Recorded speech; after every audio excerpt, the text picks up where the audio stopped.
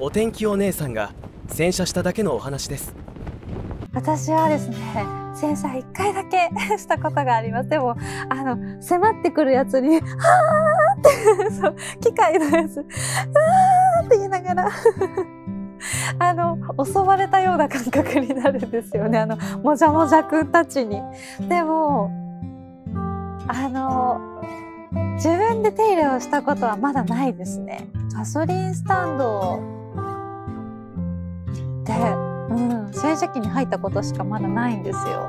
そうそうそう。なんかね、車が潰されちゃうんじゃないかという感覚がありましたけれども。